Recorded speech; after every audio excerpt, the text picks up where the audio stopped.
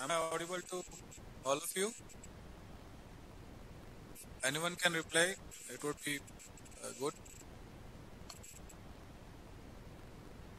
Or show off and also can do. Am I audible?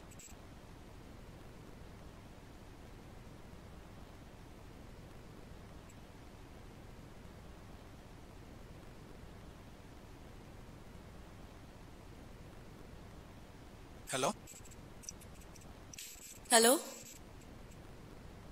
hello hello सबको आवाज़ आ रही है? प्लीज़ जिसको आ रही है अपना हाथ थोड़ा ऊपर कर लीजिए। आ रही है क्लियर हाँ ठीक है। आ रही आ रही आवाज़ आ रही है। Okay Okay, uh, let's uh, start the seminar series. Uh, myself, Dr. Nishan KN, I am an assistant professor in NIMHANS. Uh, we will be starting the session. Uh, today's session is about uh, communication skills, art of interviewing. Thus, uh, I guess, will Dr. Rakesh will take over.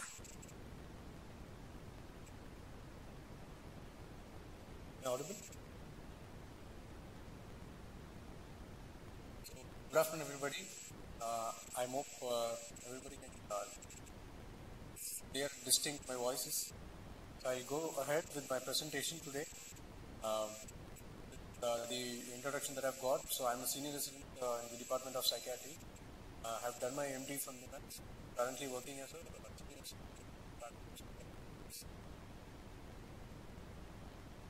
So today's presentation on communication skills. So I'd like to start with the quote that has been a very famous uh, about clinical interviewing. So clinical interview is virtually an indispensable uh, tool for the physician-patient interaction. Well-constructed interview truly may be regarded as the most powerful, sensitive, and versatile instrument available to the physician. This quote was given by uh, George Libman Engel, an American internist and uh, psychiatrist. He was best known for his formulation for the biopsychosocial model, uh, a general theory on the illness of uh, for illness and healing. So, with this uh, quote, I would like to summarize uh, what would be the uh, proceedings of today's presentation.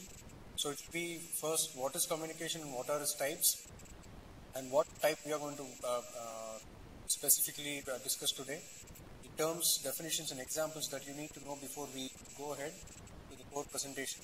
How important communication skill is for a clinician and ways of communication, uh, the process of interview, and the factors that influence the uh, rapport building which, on which the whole presentation is being built up, barriers for effective communication, and what are the do's and don'ts, followed by summary and clarifications. We might stop in between for uh, clarifications as well, and we can take up questions and uh, further discussions. So what is communication? Yeah, as we all know, it's a dynamic process which involves uh, convey a thought or a feeling. How it is uh, received depends upon the set of events, stimuli that the receiver is exposed to, and how you say and what you say plays an important role in communication. So types, what we usually have broadly, uh, we can put it as verbal, of which you can put it as oral and written, oral you have speaking and listening and written you have writing and reading. Whereas non-verbal you have facial expressions gestures body languages proximity that you maintain with the person touch personal appearance and silence. Of all these things we will be discussing mostly about the oral uh, aspect of it and the non-verbal aspect of communication so before going into the core uh, features we will be discussing few of these uh, terms on and off. So it is better that all of us are in the same page. So what do you mean by rapport? Rapport is nothing but an harmonious responsiveness between the doctor and the patient. So the patient should understand that the doctor is trustworthy and he can he will be able to share all the information with the doctor. And the doctor also feels the same way that yes, the patient is confident in me and I can go ahead and uh, giving my recommendations to the patient. Empathy, it is the capacity to appreciate and understand the experience of the patient, which is usually achieved when the doctor imagines himself in the patient's position, but warning is that, but maintain objectivity at the same time. So if you lose this objectivity, then it becomes sympathy. That's where you lose efficacy as a physician to maintain that uh, contact. Next is paraphrasing, which is a restatement of a text or a passage, giving the meaning in another form. I will be giving the examples in the coming slides. What about reflecting? It's about emphasizing by talking back the same crucial point which was told by the patients. So reflecting it back to the patient is called reflection. Listening versus active listening. Listening is hearing uh, grossly what has been said, whereas active listening is a dynamic process that includes both hearing uh, what has been said and simultaneously processing and interpreting the words that are spoken or even not spoken also to understand the complete message that is being delivered to the receiver. So to put in colloquial terms, if you are married, you're, if you're listening, you're an husband, and if you're, if you're a wife, you're actively listening. Okay, then coming on to the uh, open-ended versus closed-ended questions. Open-ended questions require the patient to answer with more or less uh, simple yes or no, uh, whereas closed-ended, sorry, uh, open-ended questions require the patient to answer more than a simple yes or no question, whereas closed-ended question generally limits the patient to respond in an yes or no dichotomous uh, way. Whereas leading questions that leads the patient to provide a response that he or she will perceive to be the answer that the interviewer actually wants to perceive. So now the next slides will be more of examples. I want, if uh, people are interested, I want them to just point out what, what are the uh, examples actually uh, relevant. So the first example is, I know just how you're feeling. Uh, my grandfather had cancer and it was a shock to all of us. At first, he was just overwhelmed and upset. So this was the uh, statement that the doctor has told to the patient when the patient was describing that he has been diagnosed with cancer. What does this mean? What does this mean? Uh, can anyone respond for this? Uh, the statement that uh, Dr. Rakesh read out right now, uh, what does it uh, depicts or what is it about? You want to choose from one of these, what would it be?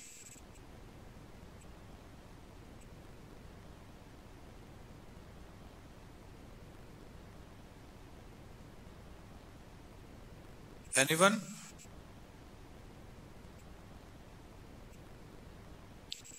Okay. Okay.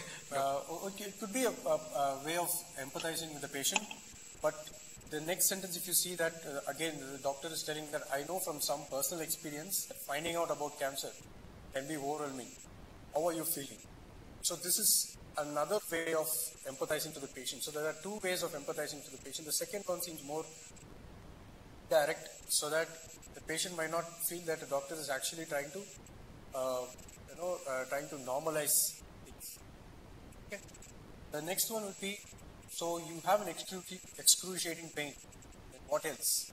So you have an excruciating pain. What does that mean? When a patient says to you, I keep having uh, pain all day. So the doctor responds to him saying that you have excruciating pain. That means that it's, it's a kind of a reflection where the patient says that he has pain. The doctor is trying to reflect the same point in his words, making the patient understand that he has got the point. Then, uh, how are you feeling today? This is the doctor's query to the patient. Is this, what kind of a question is this? I want you to uh, pick from either it's an open-ended or a closed-ended question.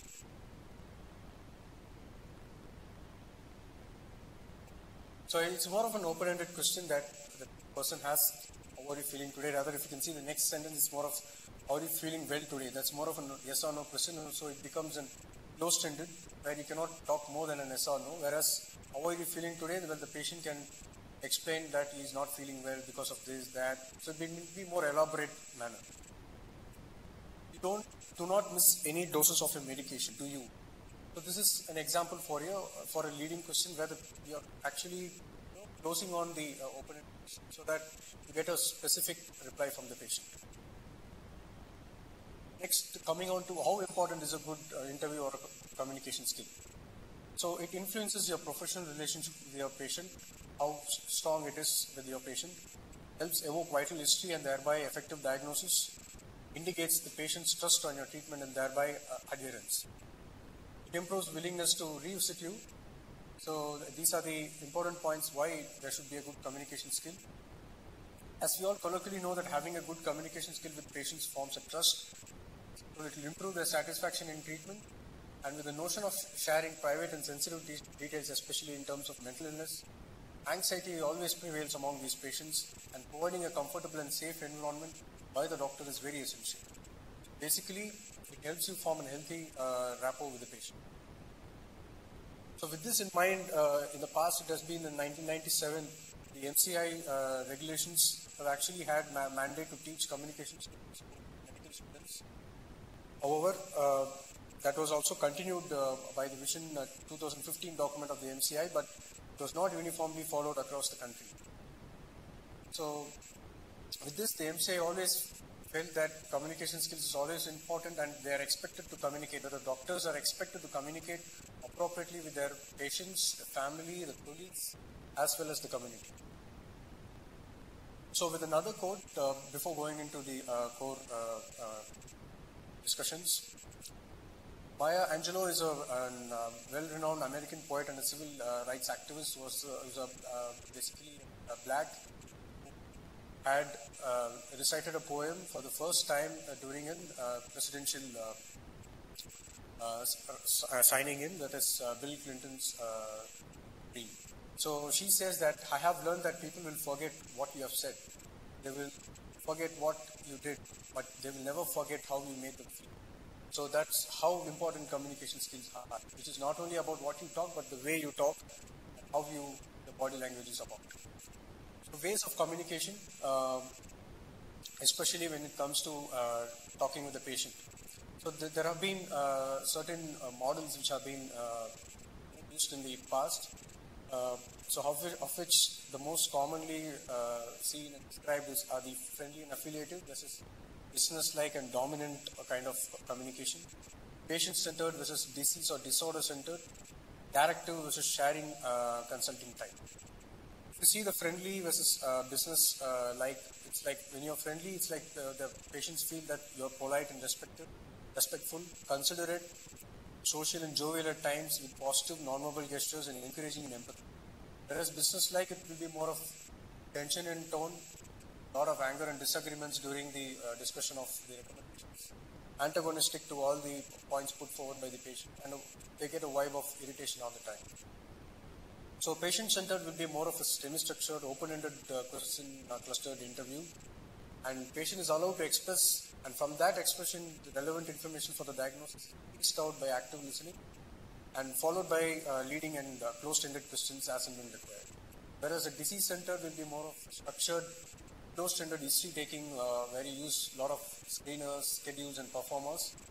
Patient is more of a passive respondent with more or less an yes or no kind of uh, or short phrases.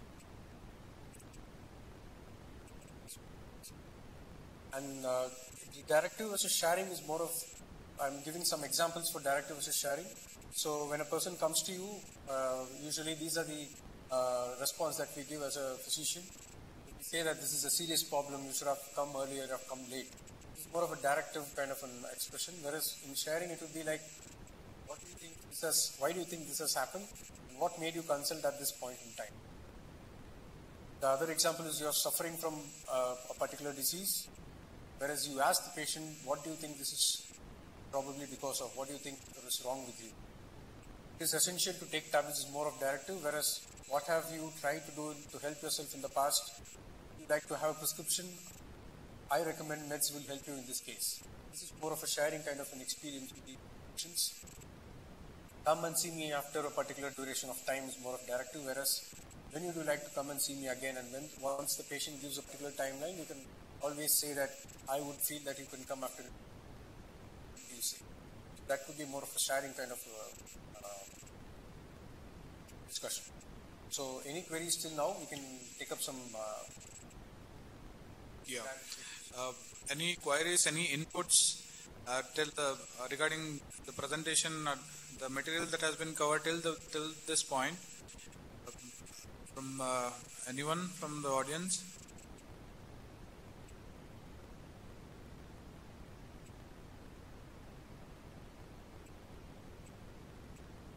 See, till now he has presented the uh, basic things, terminologies he has explained and everything, and he has given examples uh, whenever it is required. And uh, to to tell uh, regarding communication skill is it is uh, the uh, point like communication skill is the one thing that that that is in between a good diagnosis and a probable not so good diagnosis because the information you get from the good communication skill is always a, a asset for a physician i guess uh, uh, most of you most of you people agree regarding this I mentioned about all the uh, nuances of clinical interviews and also he has given example. Kindly, anyone has any queries or any inputs, it is always welcome.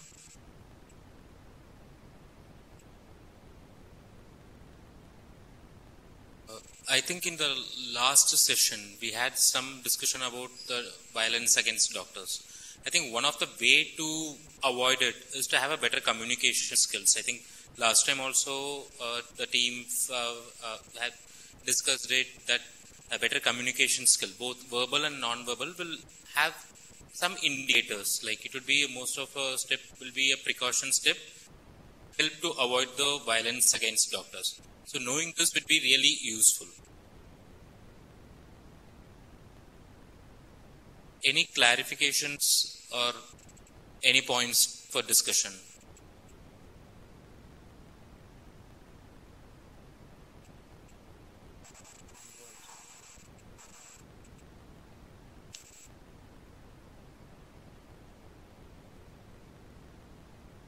No further clarification. Uh, can continue with the further presentation. So another quote uh, to go uh, further. When you talk, 7% of words, they are only labels and the listener puts his own interpretation to the speaker's words. 38% are paralinguistics, the way in which something is said, and the bulk of 55% is body language, what a speaker looks looks like when he is conversing. So with that, I would like to you know uh, give a brief outline of most commonly used uh, model for uh, interviewing a patient, which is the patient-centered interviewing. So it contains around five with which you can actually uh, interview a patient. So I'll be just giving a gist of it. Of course, this pattern will come only when, as and when you uh, practice it with your patients. It's been a practice that you know, for physicians that it's, it's always been a close-ended kind of an interview where we always have a set of questions you ask for, especially in a very uh, you know busy schedule or busy OPD setting. But it's worthwhile trying out the uh, open-ended uh, patient-centered questioning, where even when we started with this proforma kind of a questioning, it tend to have taken time in the beginning. As and when we uh, used it very frequently while, practice, it has the time would have come down. So patient-centered will also be of a similar sort.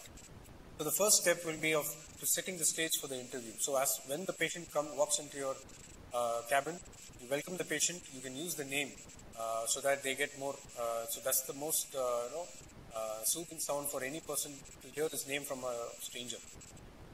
Introduce yourself and identify specific role. But if your name code is already there and your specific is already there on the table or on outside your uh, cabin, I don't think in a busy schedule it would be you know recommended for introducing yourself for every patient. Ensure the patient is ready for your uh, interview and privacy as well. Then remove the whatever barriers that you have, like probably if the door is open, you can have a lot of in interruptions. So try to keep the barriers to minimum. I'll be talking about the barriers to communication in the coming sessions. Ensure that the patient is comfortable and put them at ease, both physically as well as with your words.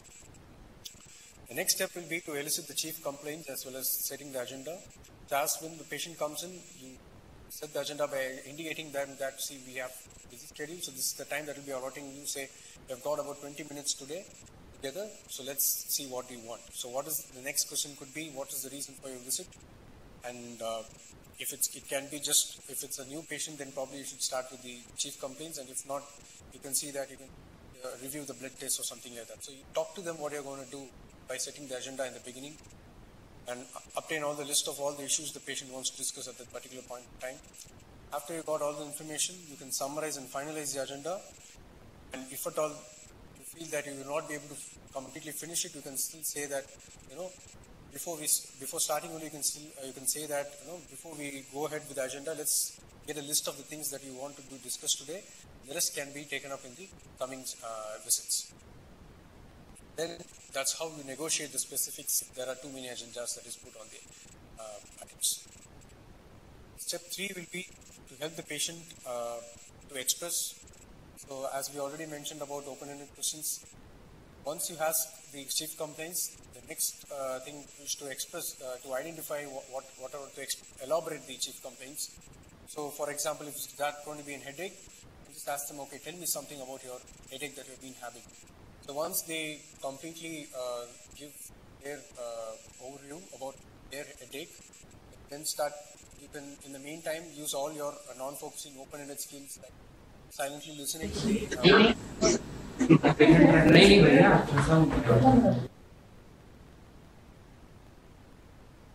by using your uh, non-focusing open-ended skills by listening silently, active listening, using neutral utterances like mm, okay, and something like that, using non-verbal encouragements, uh, and also in the meantime to obtain additional data from non-verbal uh, sources like patient's non-verbal cues, characteristics, as well as environment. That could be uh, patient's relatives, how they are reacting to the uh, patient's complaints. So all these things will make you understand the patient as a whole while you are actually going to find out the diagnosis. The next step would be to elicit the physical symptoms. You can, uh, the patient is telling that probably I, have been having this pain for a long time, so you can use the uh, um, you know, techniques that we have been discussing that uh, about paraphrasing, reflecting. So when you use all these skills, patient will come to know that you are actively listening to them and you're not deviating from any of their uh, worries that they're talking about. And once you try to uh, reflect by telling that, oh, so you have been having an excruciating, excruciating new pain, then what else do you have? So if you keep telling all these things, then they will feel more comfortable talking to you and that is one of the skills that you have to have. Later, once you got all the information, you can summarize by telling, for example, if the patient has come up with fever, you can say that, okay, first you had fever for these many days, and two days later you started having uh, knee pain, then you began to hurt, and yesterday you had begun to limp, started limping. So this is the phrase, uh, so, uh, this is the whole issue that you have got. You're trying to check with the patient whether you have understood it right. So all these things will put the patient under ease that the doctor, yeah, he's been listening and he has understood it right if you want further information, then you can just say that, you know, say more about that, say more about something, what else is happening. So, uh, the next point would be to elicit personal psychosocial context. This is especially for, you know, psychiatrists or the mental health.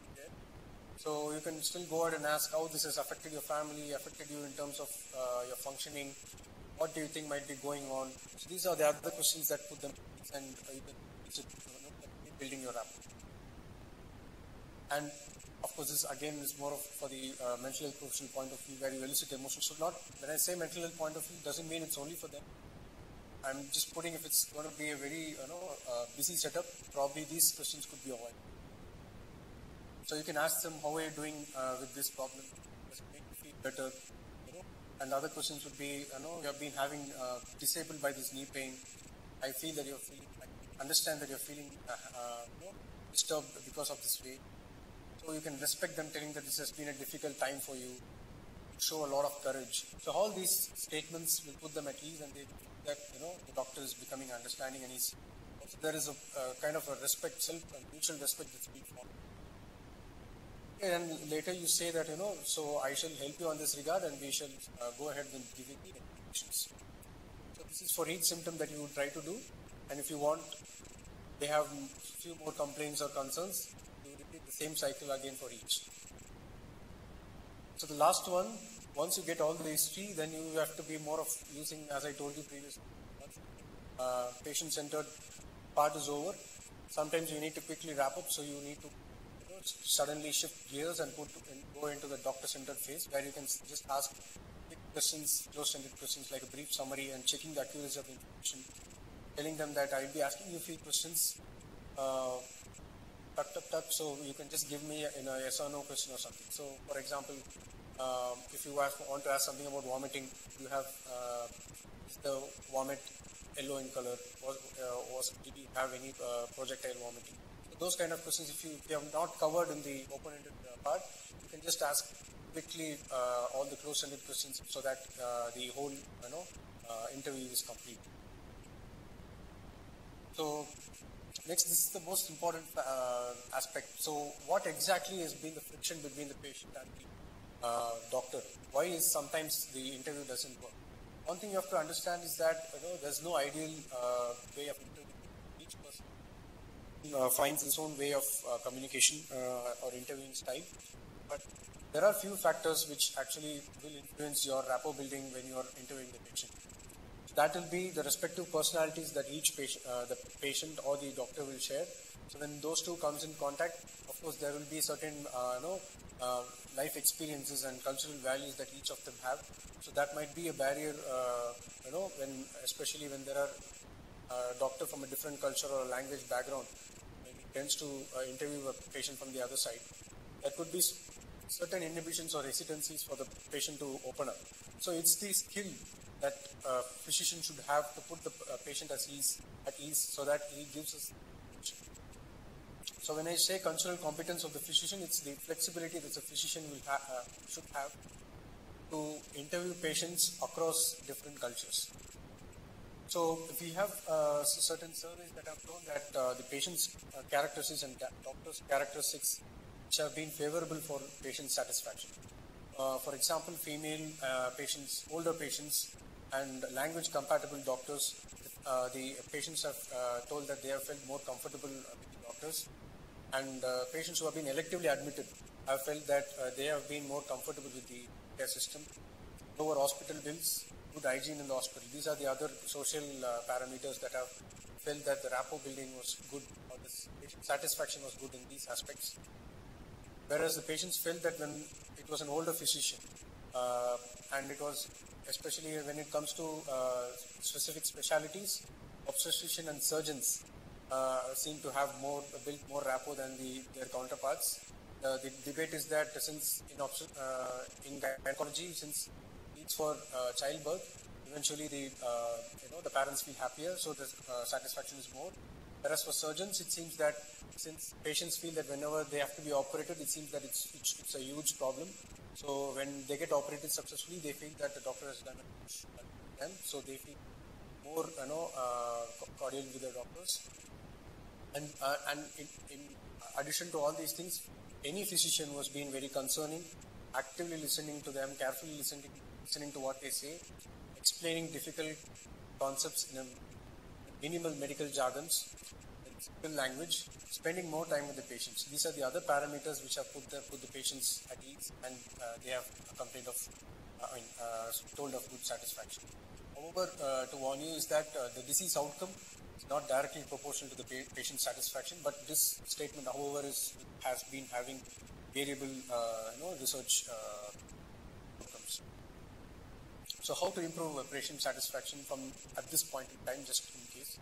So communicating preoperatively in uh, for uh, surgery, calling few inpatient, uh, fewer inpatient consultation during a prolonged hospital stay, exhibiting uh, provider empathy in a clinical setting and explaining a medical condition and treatment and ensuring reliable follow-up communication, targeted interventions such as, such as edu- education about medical problem and the illness and real-time feedback would improve patient satisfaction.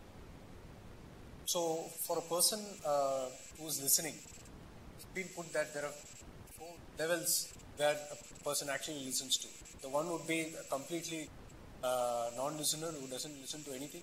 One could be a marginal listener. The other one could be an evaluative listener who's uh, just picking up the crucial points that is required. The other one, the last one would be the active listener, which would be the ideal concept that we are talking about. So to improve the listening skills, when you start talking to a patient over the table, better not to be preoccupied. You should have a mindset that once you're a doctor, you're being demands, uh, demand something from you, which is, I think, a part of your profession. So keeping everything aside start being, uh, you know, at, at the present, not being preoccupied with whatever is behind. Being open-minded and non-defensive. Say if you don't know any, anything, be open to them. Being sometimes defensive will also put you that okay, if I'm not clear of what they are asking, sometimes we tend to get irritable and be more start becoming defensive. minimizing interruptions. This is more important. Sometimes when we are doing an interview, you have your you know hospital assistant or someone coming in. It's very important, as I told you, to keep your cabin very you know uh, barrier uh, uh, effective, so so that nobody comes in. And sometimes you know uh, it is very difficult to avoid those. You might have your superiors coming in. So that time it's very important to know tell the patient, uh, you know, politely that can you just wait for a few minutes and speak this person for, for this much time and just get back to you. Is that okay? These are all the few nuances that you have to understand when you're uh, interviewing. So effective listening is more of hearing it clearly, interpreting whenever it's necessary and understanding the message and relating to what you want to do is that is to coming to an And whenever you're not clear, be open to ask questions to the patient so that you understand it. Barriers to effective communication could be some unwillingness, unwillingness from the communicator, like patient might be unwilling to say something different manner. So sometimes when you feel that I don't understand, can you put it in different words? The patient might have difficulty in saying That could be one barrier. The reason for that could be probably a lower uh, uh, socioeconomic or education background, unwillingness to relate to others differently. Sometimes they will also have certain issues that if, if, a person is not able to understand them properly, find it difficult to see that, okay, this person is not able to understand this point. Maybe I, either I have to tell it in a different way or to stop explaining it. Unwillingness to learn new approaches. This could be either with the patient or even sometimes for ourselves with the colleagues also. Uh, lack of self-confidence, lack of self-awareness that sometimes going back and having feedbacks about, asking about feedbacks from your colleagues how has been my interview, taking videos, or recording uh, how you're, you know, uh, interviewing a particular patient. All these things are very important uh, in this aspect. Lack of enthusiasm. Some, sometimes when you completely become drained off, especially in emergency, or sometimes you, tend to feel, you know, exhausted. So those are the barriers for sometimes for effective communication. Those are all going to be there. And from the receiver's end, could be uh, you know, the personal values, as I already told, they can have their own set cultural uh, uh, values and beliefs. So anything that has been taught beyond that, they might feel that this doctor is probably might not understand me at all. So probably he might stop telling few things to us. So being very uh, aware of all those things and accepting that each you know uh, community or uh, culture values different and it's important for that patient is very you know very very significant for the physician to follow. Selective perception similar, like when they feel that you know uh, they keep uh, they get fixed or become rigid to a particular uh, concept, they have difficulty in getting out of it. That again can be explained because of uh, poor uh, know, uh, intelligence or educational background. Of course, knowledge of the subject, and the other two I've already. What are the external barriers that we have? The venue itself could be an external barrier. We've been talking about this emergency setup even in the previous how difficult it can be in managing patients. Uh, ICU setup, whereas in the IP it could be better when compared to the OP and the emergency. Noise levels at the venue, it's very important to uh, know, keep uh, uh, all the set place. That basically demand, uh, depends upon the, at the administrative level. Uh, how you, you know, place your interview group, how isolated it is from the waiting hall, all these things this is one thing that was interesting, temperature and time, where climate could, uh, you know, waiting time if it's going to increase, and the temperature of uh, the climate is going to be really bad, patients can become restless, and it could also influence the way they respond to you. And uh, coming to the last few slides, uh, what are the essentials of communication? So as I already told, your mindset before starting the interview matters a lot We have uh, been trained uh, or told that, you know, as doctors, care is the most important and uh, before prescription, whole uh, process itself involves care. So it's always important to keep the mindset as calm as possible. Always think ahead about what you're going to say. So it, this will come only when you have seen a lot of patients and you know what you're going to say. Simple words and phrases that will be mostly understood by a lay person. So don't use medical jargons. You have to be ready enough to you know uh, practice yourself how we are going to uh, you know uh, simplify the medical jargons into of small phrases which a layperson can understand. Sometimes that can uh, indirectly influence the way the patient understands it, and it might lead to violence again.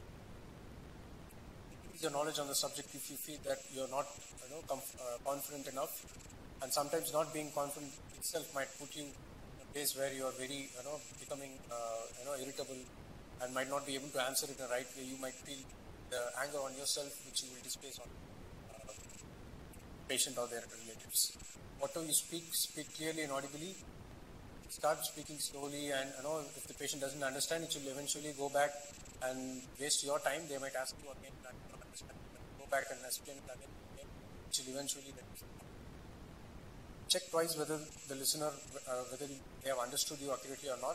You don't have to even check twice if they have understood. You can ask them to even know uh, could you tell me what you have understood? So they can just tell what they have understood, uh, so that you feel that okay, all- both of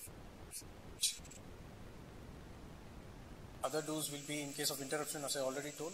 If somebody, you know, uh, comes in between and you have to take a break, once you resume the interview, it's good. It's an habit. It's a good habit that you just say that okay, till now, uh, sorry that I've, uh, I've interrupted in between.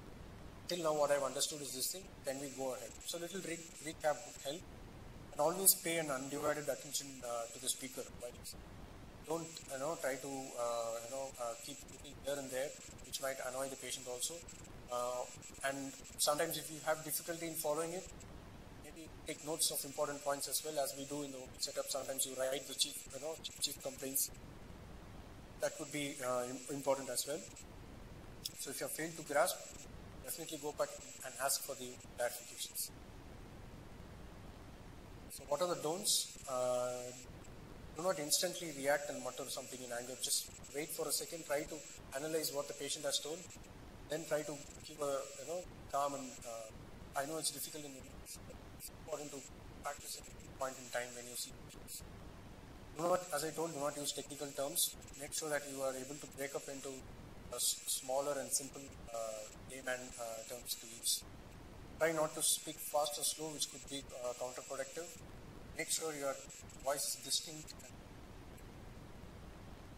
Not speak. Try to speak in an inaudible uh, surrounding. It's again going to be counterproductive. Do not assume that whatever you have told the patient has understood, and uh, they are continuing to ask the same thing again. You also have to, as I told you before, change your approach in making them understand. So paraphrasing at this point in time is very important. Try to put it in different words. These are the skills I think as a clinician you need to work, work on. So while listening, as I told you, do not glance here and there. That might distract the speaker as well, and what he wanted to say might not be uh, at all. Do not interrupt the speaker. You have to be clear enough when to interrupt. So finish and then you give your response. Do not try to jump to the conclusion. For example, few uh, doctors will also feel that once a patient comes up with a complaint, you, you, you jump to a conclusion saying, okay, this is going to be the diagnosis or something. Try to make sure that they complete what they have, uh, want to say. Maybe from there you can also ask leading questions that to understand the. So, uh, to summarize, interviewing is an art and there's no perfect interviewing. Striving for perfection by a constant practice. Each patient will provide better results every time. It's a vital tool for, tool for any physician, just like uh, a surgeon's knife. You can hurt yourself or the patient if not used skillfully. Important to understand the difference between empathy and sympathy. Uh, so you don't have to feel that, you know, understanding addiction is not our uh, part, it's only prescribing medication. It's not that way.